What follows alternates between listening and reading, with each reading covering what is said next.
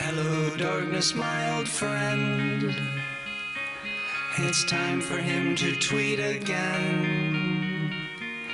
But first, he'll have to check in with Fox News. Cause that's the only place he gets his views. That's how things get planted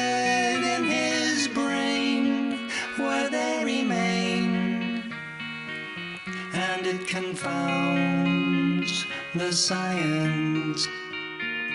The problem is he's not alone.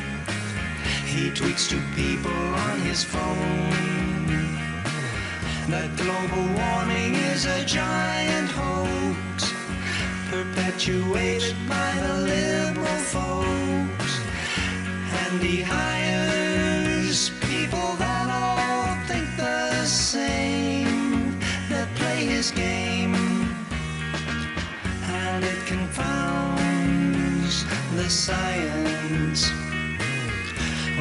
he talks to crowds of four. He sees 10,000, maybe more. Believing they all think he's God on earth and was the product of a virgin birth.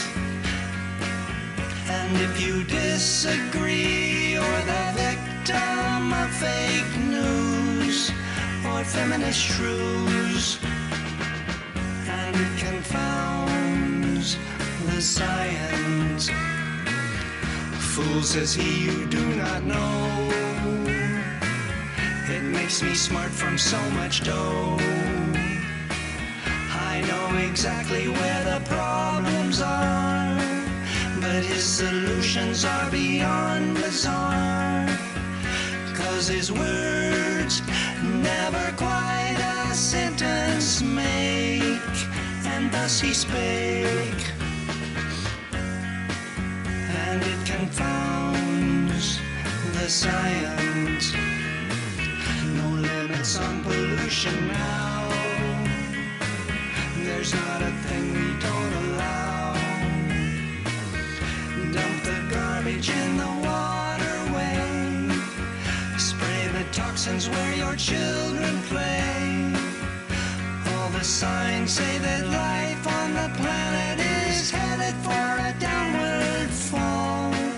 Go to the mall and continue to confound the science.